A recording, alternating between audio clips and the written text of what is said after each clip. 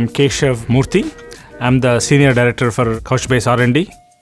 N1QL is SQL for JSON. It makes processing of uh, JSON easy for developers. They simply write a declarative query language, and uh, the query engine uh, decides the optimal path and gives the answers they want.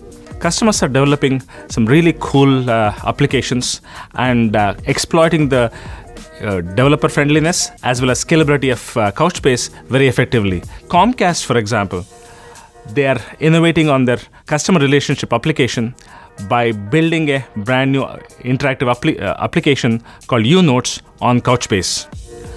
Pokemon, they've had a exponential uh, growth in their uh, user base. So they had to move away from the traditional database into Couchbase to manage their exponential growth of their user profile. Uh, somebody wise said, if you're not ready to scale, you're not ready to succeed. Right?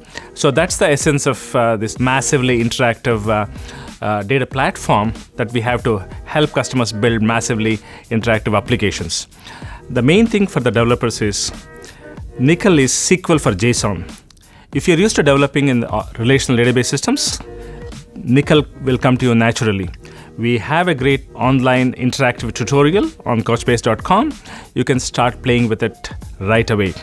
And in few minutes, you'll be comfortable in developing uh, queries with uh, N1QL. We recently announced a new online uh, training called Introduction to Couchbase for Oracle uh, experts. Uh, so you'll be able to pick up N1QL very easily. We even have a couple of books written on uh, N1QL which are available online uh, for you.